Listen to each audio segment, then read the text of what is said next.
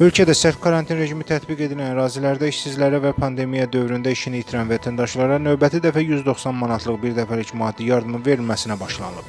Bu barədə Əmək və Əhalinin Sosial Müdafiəsi Nazirliyinin Kommunikasiya və İctimaiyyətlə Əlaqələr şöbəsinin rəisi Fazil Talıbov deyib.